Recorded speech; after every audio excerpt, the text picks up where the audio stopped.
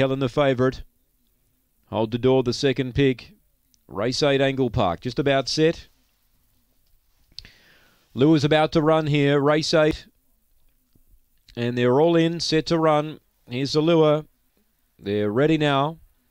Away and speed here from Long Gully Helen's going to lead. A Highbury Hustle runs to second, so it's Long Gully Helen from Highbury Hustle, a length to spare. The uh, the greyhound that's sitting second's pretty strong here, Highbury Hustle. Three lengths away to Destiny Surf for an American Affair.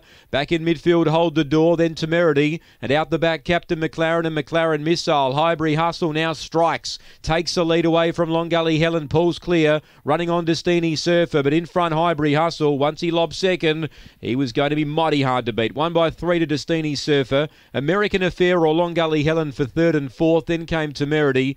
Uh, Captain McLaren and Hold the Door was uh, back at the rear. The time is around 29.90 for the winner.